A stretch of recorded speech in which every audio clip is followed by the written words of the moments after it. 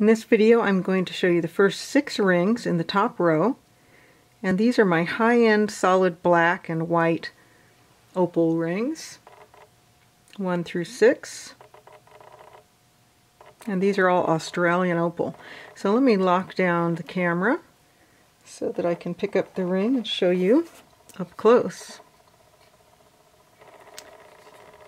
So this beautiful engagement ring has a solid black Australian opal from the Lightning Ridge mine. And I have a very good opal source. As you can see this is a beautiful opal. Just gorgeous. It has all of the colors. Look at even that purple there.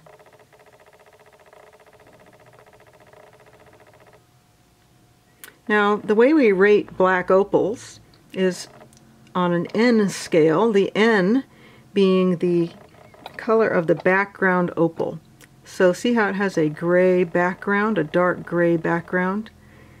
I would say this is about an N3 or an N2. Now N1 would be jet black, where the opal would be jet black in the background where there isn't color. And N9 being a white opal.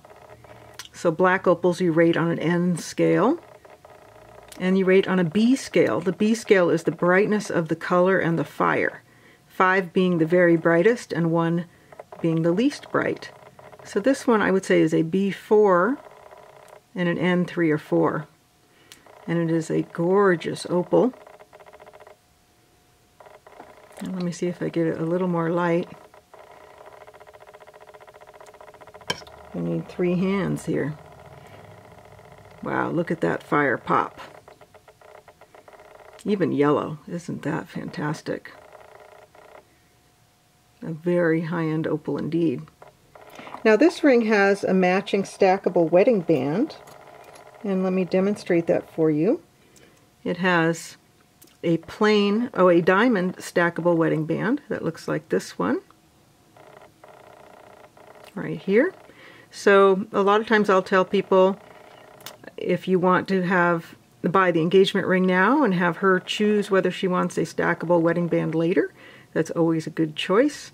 But they have to be designed together. I designed this ring in CAD and computer aided design and you have to design the matching stackable wedding band at the same time or they'll never fit together perfectly like this. So this one has a diamond stackable wedding band or a plain stackable wedding band choice. And both of them are good choices, just depends on what you like better. Or of course the engagement ring by itself. And I'm going to turn this one over so you can see the fire from the other way again. Beautiful.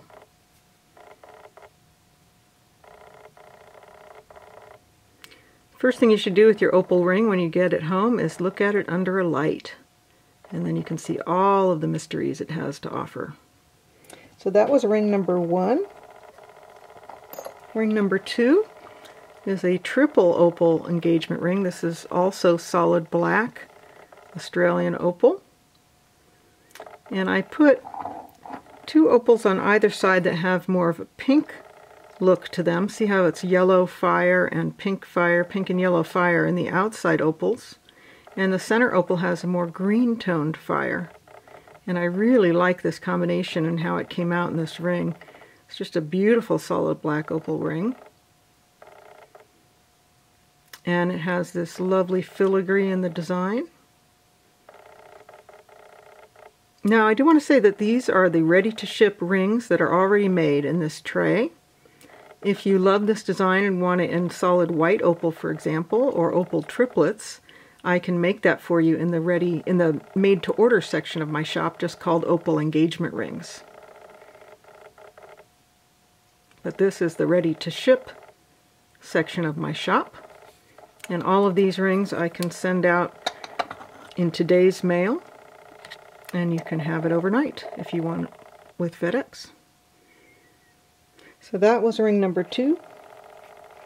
Ring number three is a beautiful diamond engagement ring. It is my version of a halo ring. And this opal is a very dark jet black black opal. And you can see the background. Let me shine a light on it. Look at the color pop. And see how black the background is? This would be an N1 on the scale of 1 to 9, 9 being a white opal, and N1 being the darkest of the black opal. And the fire is a 4 or 5, on the brightness of 5 being the brightest. It is just a very special opal.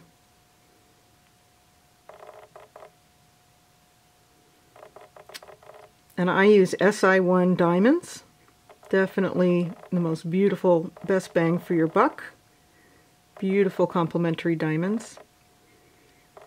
And this wedding ring, this engagement ring does have a stackable wedding band that I can make to order for it if you so desire. But right now is ready to ship. It is just the engagement ring. Isn't that an incredible opal? Just absolutely spectacular.